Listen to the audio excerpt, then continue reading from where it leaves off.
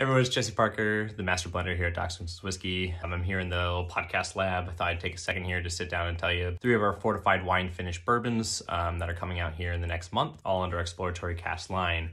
And um, the first one is our Moscatel finish uh, straight bourbon whiskey. So it uses our blender's cut bourbon, uh, finishing in Moscatel casks. Uh, Moscatel's from uh, uh, Portugal specifically, so they're pretty unique, a little bit more on the uh, semi-sweet side with some really nice nutty citrusy flavors, honeysuckle, etc. And I aged these for between five and eight months, um, and then blended the barrels together in the best way I thought possibly fit. So uh, here's to the Moscatel. Um, I hope you try and find a bottle of this. There's only a couple hundred of them made. You can always look at our docswhiskey.com website and also order them online. Um, so get them while they're available.